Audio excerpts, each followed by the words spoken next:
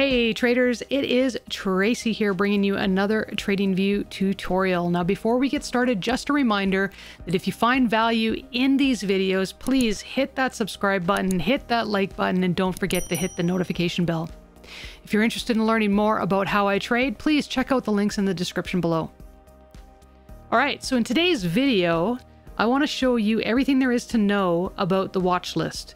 So first of all, when you have your chart open, to find the watch list, it's in the top right-hand corner, looks like a little square with a bunch of horizontal lines on it, right up here. Click on that. It's going to open up this window.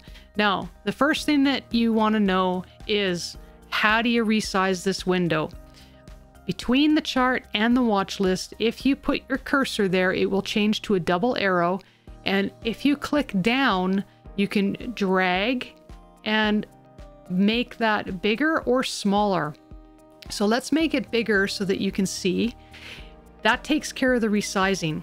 Now along the top, the, the first thing on the top left-hand side is the title of the current watch list.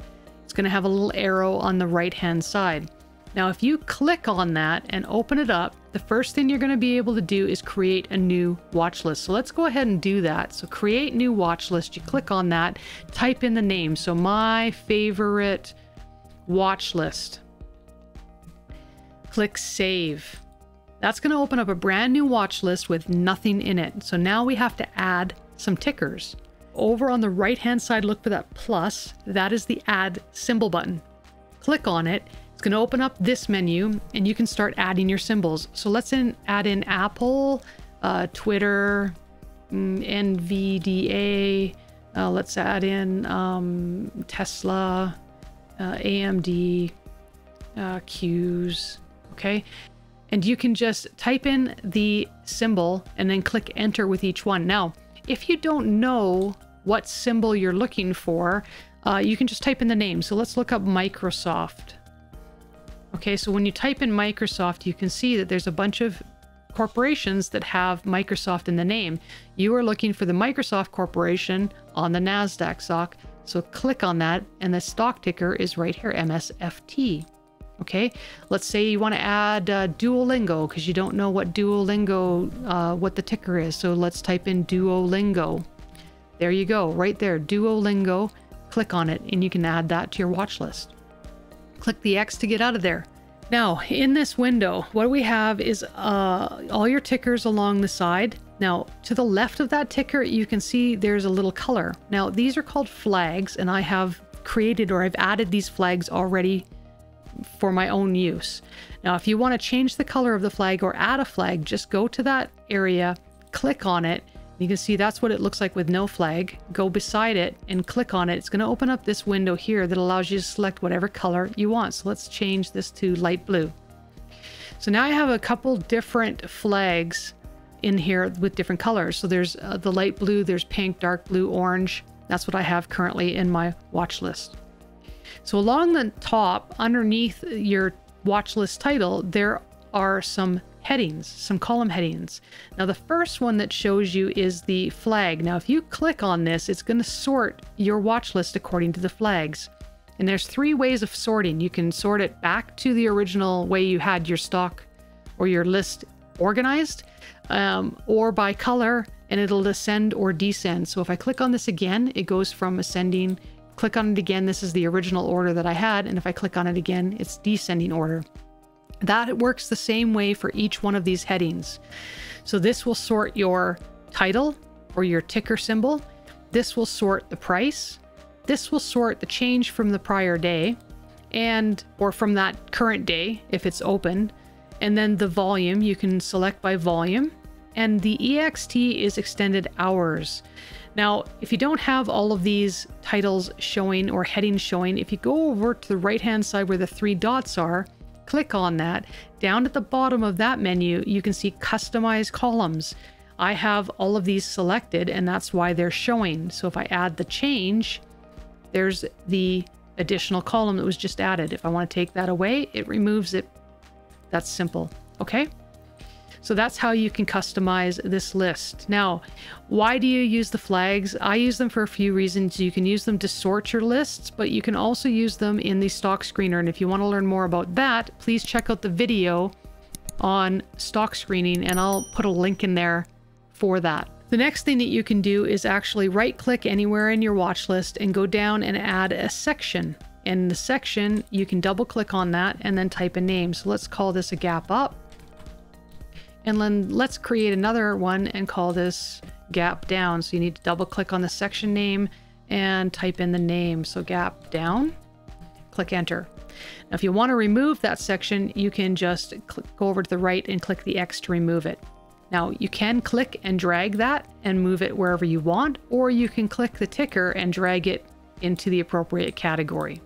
Okay, now that's really cool. It's a great way of sorting your watch list without having to use the flags. So you could use your flags for other things, and it just increases the number of ways that you can organize your watch list.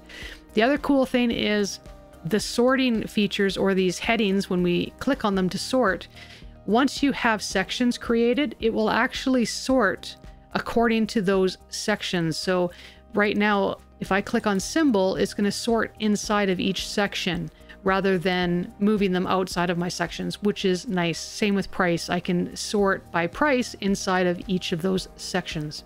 That is a very neat feature. Now, if we go back up into the My Favorites watch list, click down, if you have anything flagged this color, it'll show up in here. So right now, if I click on, say, the blue list, this is going to come up with a watch list that has every single one of the stock tickers that I have flagged blue right now. And if I go into the orange list, same thing. So now let's go back to the my favorite watch list. Click on that. we're back to the watch list that we had. So if you click on that watch list again, there are all of the watch lists that I have created and yours would be named differently. And it shows you the number of stocks that you have in each of these watch lists. If you want to remove a watch list, just highlight it, go to the right and click that X button and click yes, you want to remove it. Okay. Now the next thing is over on the right hand side with these three dots. If you click on that, we've already gone over the customized columns. So this section here, you can make a copy. So you want to create a new watch list with the same symbols in it. Just click on this, call it whatever you want, and you don't have to add uh, all the same tickers back into it. You can you can just do that. It makes it quicker. So if you have a watch list that has uh, a lot of tickers in it and you want to copy it over and maybe only delete one or two, of the tickers that are in it. It's easier to do it this way than to create a new watch list and add all those tickers back in. You can also rename the watch list. You also have the ability to import a list or export a list, and this moves it into a TXT file or a text file. The next is the clear list. This will clear your entire watch list. Now, normally, if you go to a ticker that you want to remove, you go to the right hand side and you click that X, it will remove it from your watch list. But if you want to remove everything, you can go up and click the clear list button. The next thing that's available is this public list. So if I click on this, it makes my list public and I can copy the link, give it, share it, whatever, and somebody else will have access to my watch list. The next thing, which is new, it was just released in the last week, is the advanced view. So let's click on that and take a quick peek at what this does. So notice the symbol distribution right off the bat, and this is kind of a neat feature if you want to see how you're weighted inside of your watch list. But right now, what I have in my watch list is 86% stock and 14% fund uh, tickers. It also shows you the sector. So now if I just get out of here for a second and select, let's say my blue list, go back into here, you can see that it breaks it into more detail, right? I've got depository receipts, funds, and stock, and then all of the different sectors. Now, the other neat thing, scroll down in the quotes. If you have sections, it'll show up in here as well. Uh, you can sort by additional categories. So you've got your market cap, etc. You can also sort by currency type or symbol type. So let's say right here, symbol type, depository receipt, fund, and stock. Or let's say sector, you can sort by sector or exchange.